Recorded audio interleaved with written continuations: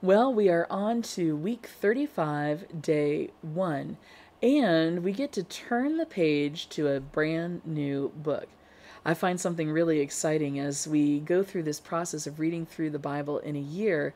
Uh, there's an excitement about closing one book and starting a new one, knowing that we're making great progress in this uh, plan for reading through the whole Bible in a year.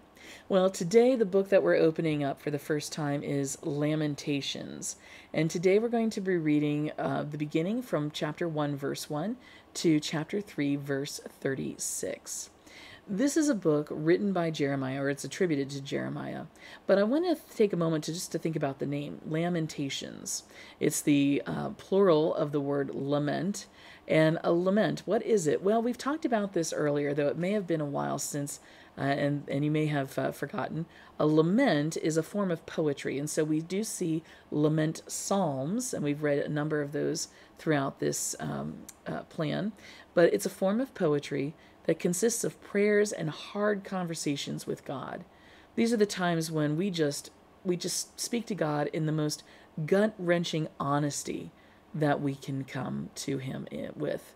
Um, it's meant to ultimately to lead us back to God, to give us clarity on a situation, and to point to the hope in God's faithful love. God is always faithful in loving us, and sometimes we have a hard time seeing it.